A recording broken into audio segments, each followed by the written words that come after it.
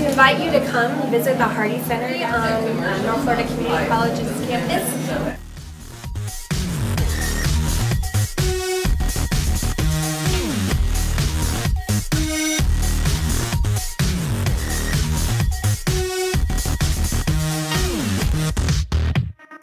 the